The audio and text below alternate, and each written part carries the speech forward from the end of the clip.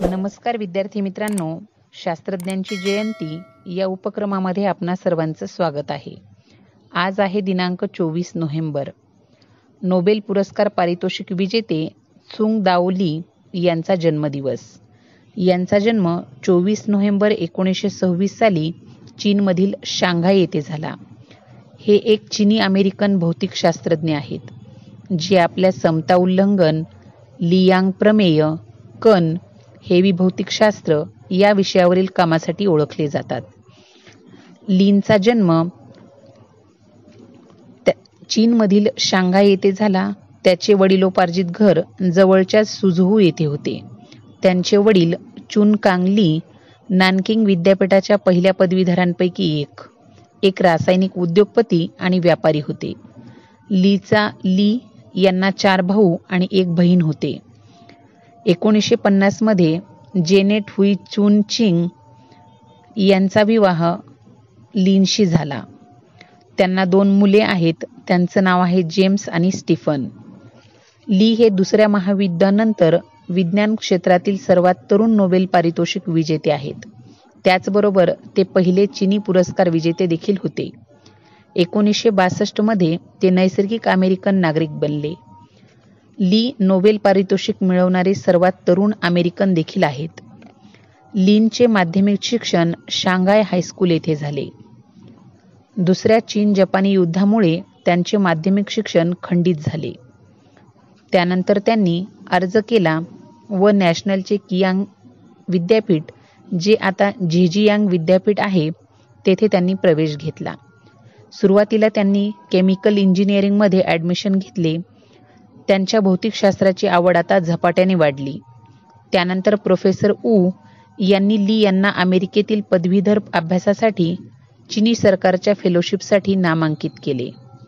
एकोणीसशे त्रेपन्नसाठी त्रेपन्न साली कोलंबिया विद्यापीठात दाखल ते दाखल झाले ते सेवानिवृत्तीपर्यंत तेथेच राहिले. समानता उल्लंघनाचा अभ्यास त्यांनी केला. एकोणीसशे साठमध्ये त्यांची भौतिक शास्त्राचे प्राध्यापक म्हणून नियुक्ती झाली. इन्स्टिट्यूट फॉर ॲडव्हान्स स्टडी आणि तीन वर्षानंतर ते कोलंबियाला परतले आणि भौतिकशास्त्रातील परिले एनरिको फर्मी प्रोफेसरशिप त्यांनी स्वीकारले. ते दोन हजार बारामध्ये प्रोफेसर एमेरिट्स म्हणून निवृत्त झाले. एकोणीसशे चौसष्टच्या सुरुवातीपासून त्यांनी विशिष्ट कमकुवत परस्परासंवादादरम्यान घडणाऱ्या टाईम रिव्हर्सल इन्व्हेरियन्सच्या उल्लंघनाच्या स्पष्टीकरणासाठी देखील महत्त्वपूर्ण योगदान दिले. एकोणीसशे अठ्ठ्याण्णवमध्ये जेव्हा तीन वर्षापूर्वी त्यांच्या पत्नी मरण पावल्या तेव्हा त्यांच्या पत्नीच्या स्मरणार्थ चुनस्तुंग एडोमेंटची त्यांनी स्थापना केली. यात त्यांनी United Board of Christian Higher Education in आशियाच्या देखरेखीखाली चुनस्तुंग शिष्यवृत्ती सहा विद्यापीठात व सुरू केली. दुसऱ्या व तिसऱ्या वर्षातील पदवीधरांना त्यांनी ही शिष्यवृत्ती सुरू केली.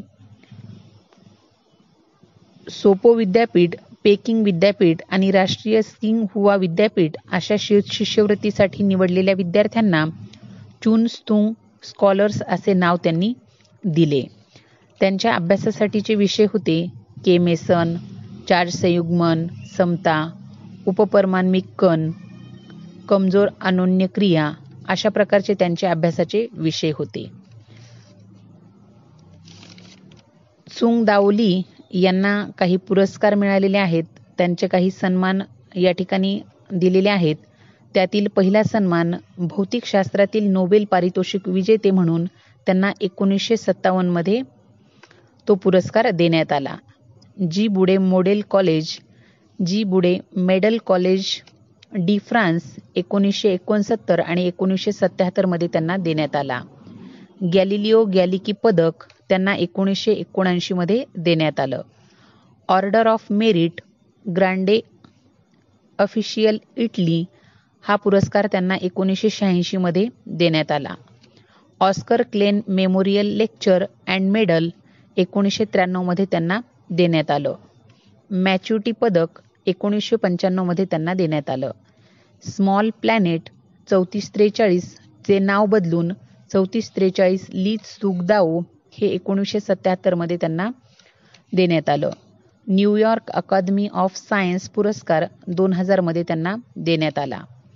The Order of the Rising Sun Gold and Silver Star Japan हा दोन हजार सातमध्ये त्यांना सन्मान देण्यात आला. राष्ट्रीय विज्ञान अकादमीचे ते सदस्यत्व त्यांनी स्वीकारलेलं होतं. त्याचबरोबर American Academy of Arts and Science याचे देखील ते सदस्य होते.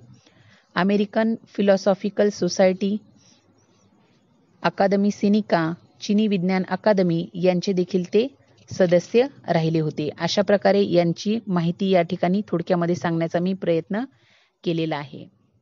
धन्यवाद.